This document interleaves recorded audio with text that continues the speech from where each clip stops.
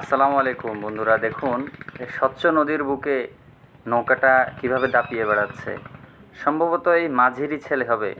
নৌকার ঠিক সামনে দুই পাশে দুই পা ধুলিয়ে দিয়ে মনের আনন্দে হেলে দুলে বেড়াচ্ছে। জীবনের কি আনন্দ আর মধুর সময় সে পার করছে? এই স্বচ্ছ নদীর বুকে এই চলাটা যে কী অনুভূতি! আমরা হয়তো হাজার লক্ষ টাকা খরচ করেও এ ধরনের একটা মনের অনুভূতি কখনো পাবো না।